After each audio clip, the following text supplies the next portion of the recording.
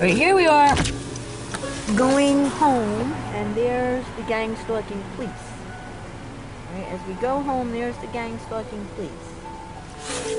Now, I just have to turn the corner and I'm on Coral Drive, um, and we just saw, I didn't turn the camera on uh, exactly at the right time, but that was our um, Oceanside Police gang stalking.